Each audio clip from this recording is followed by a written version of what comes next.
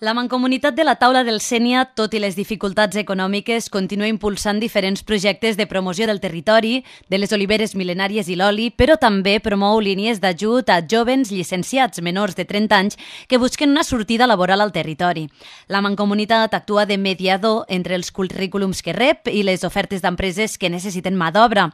L'únic requisit és enviar el currículum a la gerència de la Mancomunitat.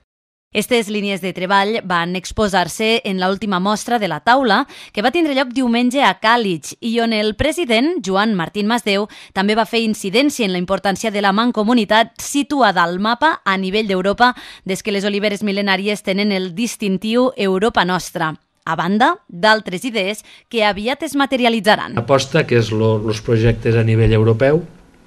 se us ha parlat, tot el tema de les oliveres mil·lenàries, realment ella bon, ha fet 5 cèntims de com vam estar percebuts a, en, aquella, en aquell lliurament de premis d'Europa Nostra a Viena. I la, la sensació que teníem és que la taula del Sènia estàvem...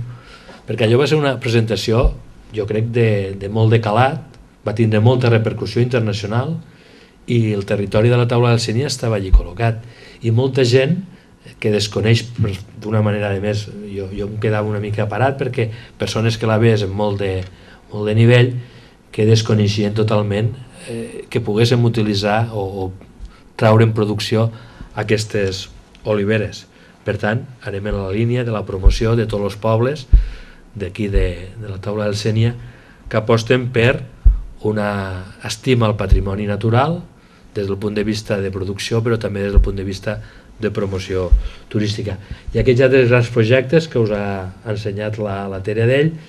parlat de l'Eurovelo. Este és un projecte que tots els ajuntaments tenim en mente, fer unes rutes en bicicletes, unes rutes de caràcter turístic que ens donin valor al nostre patrimoni natural i fins i tot cultural, doncs crec que és l'aposta la, a seguir per part dels municipis.